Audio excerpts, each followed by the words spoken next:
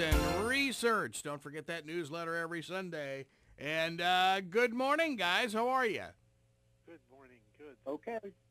Hey, uh, uh, I just saw something on uh, CNBC that blew me away. They are saying that reporting today that four companies, four companies, Facebook, Amazon, Netflix, and Alphabet, which is formerly Google, are 20% of all S&P earnings. Is that correct? Yep. Really? That that that, that sounds imaginable. Um, and and they're all internet stocks. Wow. Well, sort of. They're all technology stocks. Well, technology stock. Okay, there you go. Yeah. I wouldn't. I, I wouldn't call Apple, uh, you know, an internet stock, but yeah, Wow. pretty amazing. It is amazing. I I just saw that. I'm going. Oh oh my.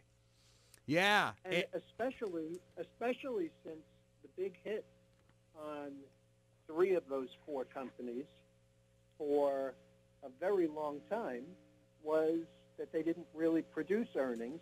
They remember how they would always talk about revenues, revenues, revenues. oh yeah. Yeah. were giving everything away, and you know, so now, you know, they've turned on the spigot. I shudder to think what's going to happen when Jeff Bezos decides that he's in enough businesses and that he um, not controls but dominates those businesses enough where he can just turn on the spigot and produce, you know, massive earnings.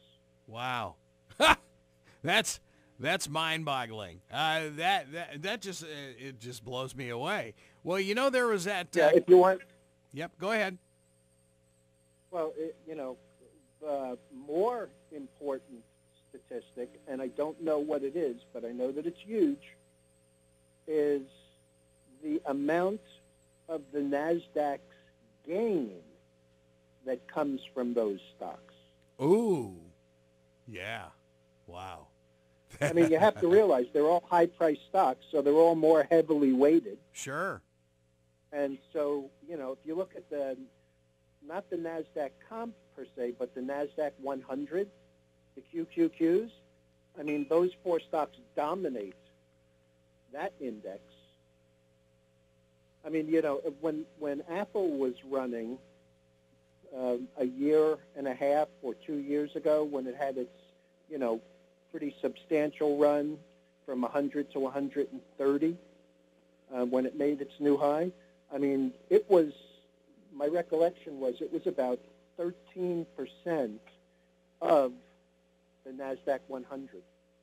And everybody was weighted that way. Everybody who was in or who was trying to mirror that index was 13% simply in Apple. So the numbers for those four are pretty substantial. Wow. That, that, that, just blows me away. Well, you know, uh, our old buddy, um, of course, uh, we were with uh, Mark Cuban and his uh, company AudioNet at the uh, very beginning of his company. And, uh, of course, he wound up selling it to Yahoo and got out just in time. But Mark Cuban is now claiming that robots are going to cause a huge unemployment problem for the United States. And then Bill Gates, I love it, followed up by saying robots need to pay, need to pay taxes like the rest of us. it's like, okay. Um, what do you think about that?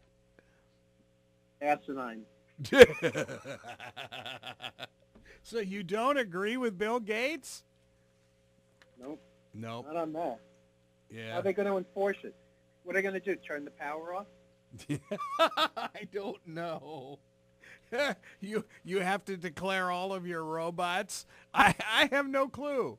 Have an IRS agent uh, uh, just uh, assigned to robots and drones. Yeah. Oh my gosh. Oh boy. Uh, so uh, that include? Does that include Roombas? that's right. Just do the carpet.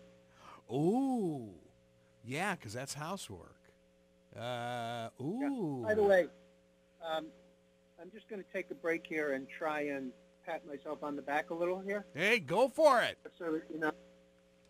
Um, last week, the day after the um, announcement on Kraft Unilever, which has now fallen by the wayside, uh, a lot of the uh, consumer and food stocks got pounded.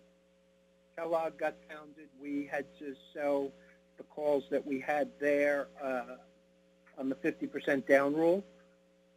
Um, but what we also did was, when it gapped to the downside $6, we also bought SJM, Smuckers, at 131.20. I believe it was Friday morning. Um, You're saying Smucker, the way back. Smucker's Jam is at 131 bucks? and it was down five and a half. Oh God! So it finished. So it finished the day at um, 135 and change.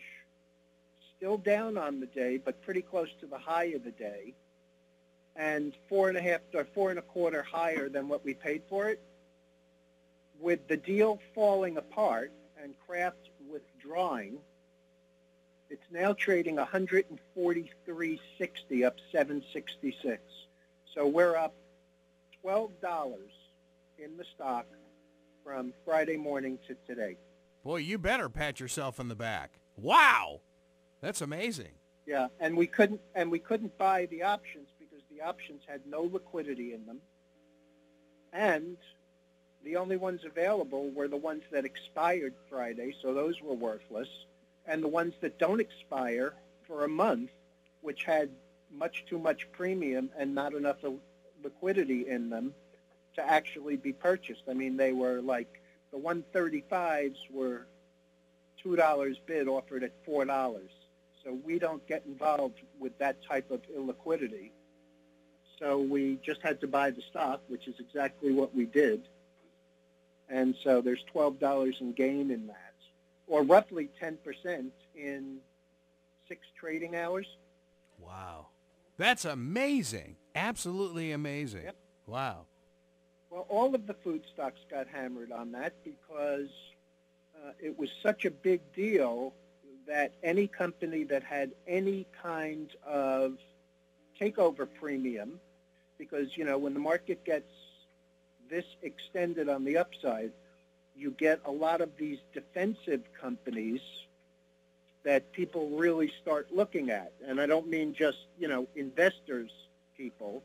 I mean companies that build companies start to take a look at them because they're so defensive. And they don't expect things to, you know, be able to maintain. Wow. So That pretty substantial. yeah, I, I I would say so. There's no doubt about it. Um, uh, Market Watch. Smucker, Yep. yeah. Go go ahead. Uh, more on No. Sm- now. No, no, I was just going to say, you know, the Smuckers had come down from roughly 158, so I don't see much reason to be a seller. I mean, I'm sure it's going to back and fill a little here, having been 130 and now having been 143. So I expect it to back and fill, but if it holds in here, I don't see any reason for it not to go back to 150, 155. Yeah, you did a great job with that. Yeah, no kidding. Wow. Yeah, that that's amazing. Well, Michael, this is right up uh, your wheelhouse here. Uh, the uh, next leg in the oil bull market, according to Market Watch, is coming soon, and they're now predicting uh, seventy dollars a barrel oil by December. Wow, interesting. Well, you know, Greg, I also made mention in the uh, in one of the daily notes in the evening one day last week that it looks like the momentum and the unbalanced volume in the actual commodity, the oil, looks like it's kind of crinked back to the upside, and um, it makes it look like what we were looking at before, which was one, which was fifty dollars on the bottom and 53, 54 on the top. Looks like it may be shifting a little to the upside to be, uh, you know, 53 to maybe 55, 56. You know, it's just kind of becoming more stair step. It's finding support at higher prices and is able to move higher. Uh, the news over the weekends was all about how, um, you know, the uh, Saudis are selling the smallest little bit of uh, Aramco, which is the Saudi American oil. Yeah. It's a huge IPO. And so they're making sure or they're leaning on everyone to not cheat on the cutback in drilling. And so they're getting a lot of support in that from everybody except Iran. Um, and so, you know, it looks like there'll be less. I mean, there won't be any less here, but there'll be less there. We've already cut production here fairly substantially. But, you know, those, those, um, the drillers and all the shale people, if it stays up here, you know, you can expect the spigot to turn on here. Wow. That's amazing. I, you know, you start thinking about that, especially the shale oil types up in uh, uh, North Dakota and, and South Dakota. You wonder if that's all uh, going to come back again. Well, you know, they the fact that they closed them in because they weren't profitable is not. I mean, the last time we had uh, Connolly on, Tim Connolly on, Yep. he was saying, you know, they were more than profit. They were happy with fifty dollar oil. So you can imagine, at fifty four dollars, they're just that much happier. And if they see it edging up, you know, they have no trouble taking it out of the ground profitably at those kind of prices. Yeah, but there again, how do you get it from point A to point B, though? I mean, is that uh, all part of our friend from Omaha and his uh, rail lines? Well, you know, they've kind of proven that that is not the safest way to transport oil. Yeah, Um, exactly. but, you know, the current administration, you know, they're getting the uplift from the coal. And so their, their traffic, their haulage of coal is picking up dramatically, you know, and we're exporting it, so that helps the, you know, that helps our balance of payments. But, um, you know, they have all, they're also continuing to build all these pipelines. So, you know, the North Dakota one, absolutely. The one from Canada, absolutely. I mean, they put this stuff in the pipelines and get it to Cushing. You know, if there's a use for it, let's remember that they changed the direction of the Cushing pipeline from south to north to north to south. So all they have to do is get it on the boats. So how large is this facility in Cushing, Oklahoma? I, I had never even heard of this town until this. Yeah. Um, you know, they talk about it in terms of, you know, hundreds of millions of barrels. Mike would know more about that. I mean, he's the one who's in the oil business. Yeah, speaking of oil, the commitment of traders report from the Commodity uh, Futures Exchange, from the Commodity uh, CFTC, uh, Commodity Futures Trading Commission, the commitment of traders report shows the largest amount of longs, 525 million barrels of crude long versus just something like 44 million barrels short, is the largest differentiation ever since the statistics were created. So there's a, everybody is long. Now, is that is that does it segregate commercials and speculators, Mike? It does, but the report is illustrated in today's Wall Street Journal, the Mhm. Tuesday 21st copy. It's all there on page B10. And so I'm just pointing out that there is a huge long position, and that might uh, cause prices to stagnate at this level. 54 to Yeah. 55 may be high enough. That's very interesting, guys. Wow. You know, eh, you you have to wonder. Um, uh, there was also a, a piece in Market Watch that talked about uh, China's economy is um, doing doing a little earthquake routine. You know, uh, just uh, wobbling back and forth, and that uh, President Trump may just add to the woes uh, because of everything that he's doing here. Uh, uh, kind of loosening the environmental stuff for our oil and, and a lot of other things going on here. So it's very, very interesting. And, you know, you just think, okay, that directly affects the Chinese. Well, you know, it's a small world, right? Yeah, Yeah. but you know, there, I read something the other day that was talking about how, how much, I think it was a report by Nomura, and they were talking about how friendlier China is with some of its counterparts right there in Asia. And that's very powerful. I mean, that's, if, if they become an organized trading bloc, how good that would be for both sides of it. Kind of like it, China and for places like like it, Vietnam and yeah, Philippines and yeah. kind of forming their own Yeah, E- EU type thing. China, I- I mean, except that they, you know, they they completely control it. The Chinese. Wow. You know, this is not the, this is not going to be a dog wagging the tail wagging the dog. They are the big dog, and everybody else is just along for the ride. Mike, what are your Well, feelings on that? There are, uh, you know, the other countries are growing very fast. I mean, the Philippines is growing between 6 and 7 percent. And so Yeah. in, Indonesia, the other countries are Malaysia, they're growing very fast. So Yeah, I think you sent it. I, I think you sent me the Nomura report. I did. Yeah. Yes, and you can see in that report there's almost no declines in GDP around the world.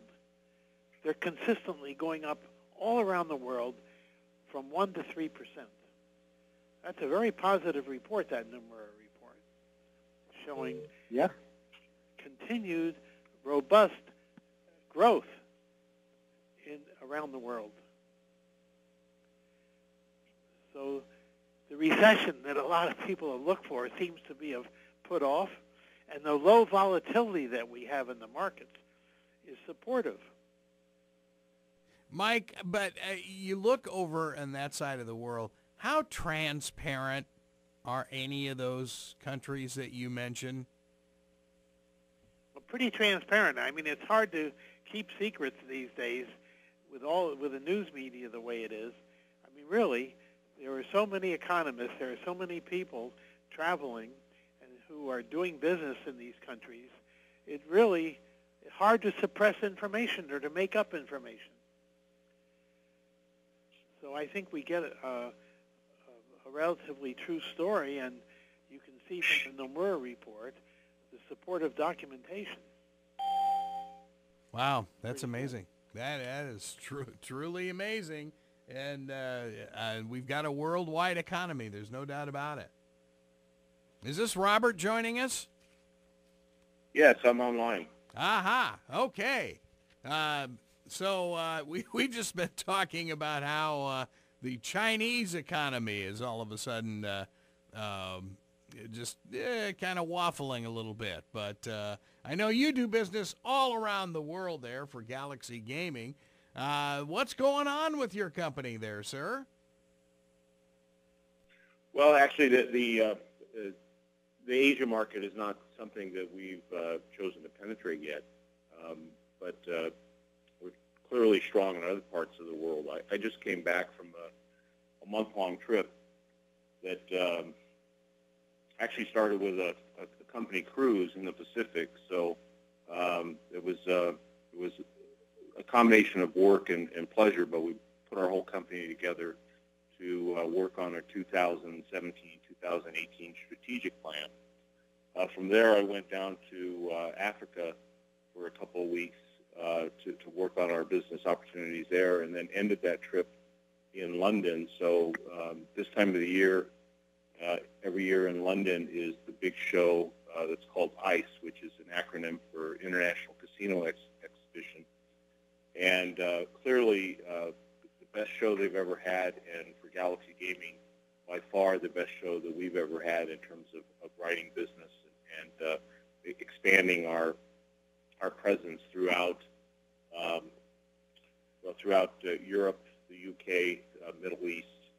So we have um, installations going in, in, in a lot of new places uh, that I've never even been to, such as Malta and Cairo and, and all over. So